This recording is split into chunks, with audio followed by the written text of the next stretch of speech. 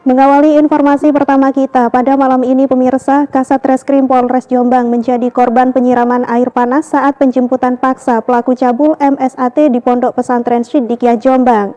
Pihaknya kini dirujuk ke Rumah Sakit Bayangkara Kota Kediri lantaran menderita luka bakar di kedua kakinya.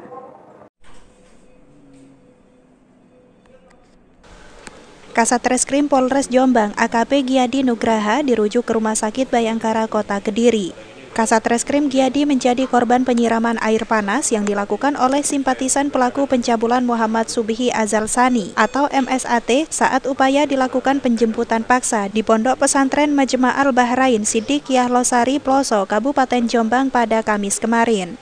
Kasat Reskrim AKP Giadi menderita luka bakar di kedua kakinya dan harus mendapatkan perawatan intensif. Dirinya harus menjalani perawatan di ruang IGD Rumah Sakit Bayangkara Kota Kediri pada Sabtu sore.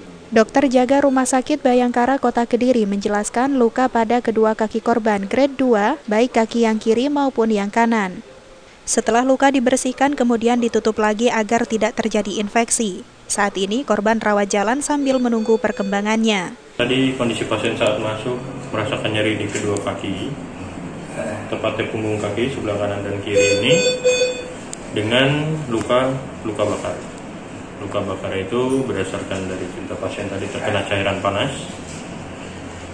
Yang kejadiannya sekiranya 3-4 hari lalu. Dua hari lalu. Dua hari lalu. Diketahui Polres Jombang dan Polda Jatim sebelumnya melakukan upaya penjemputan paksa terhadap pelaku cabul Muhammad Subihi Azal Sani atau MSAT di Pondok Pesantren Majma' Al-Bahrain Siddiqiyah Jombang. Namun ratusan simpatisan pondok pesantren melakukan perlawanan sehingga sempat terjadi bentrok antara simpatisan dengan petugas. Dari Kediri, Jawa Timur, Muhtar Effendi Madu TV mewartakan.